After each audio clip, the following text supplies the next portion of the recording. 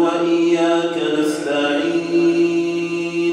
اهدنا الصراط المستقيم صراط الذين أنعمت عليهم. الله أكبر.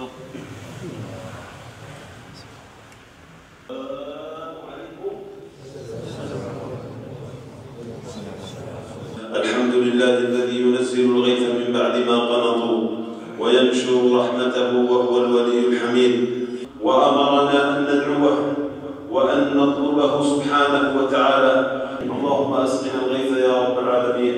اللهم لم شأننا ووحد كلمتنا العالمين أدينا صلاة الاستسقاء اليوم على غرار باقي مساجد الوطن وصلاة الاستسقاء هي من السنن التي كان النبي صلى الله عليه وسلم يؤديها حين يحل القحط والجفاف فقد خرج صلى الله عليه وسلم واستسقى بالناس وصلاة الاستسقاء يلزم المرء منها أن يتوب إلى الله عز وجل أن يتوب قبلها وأن يعود إلى الله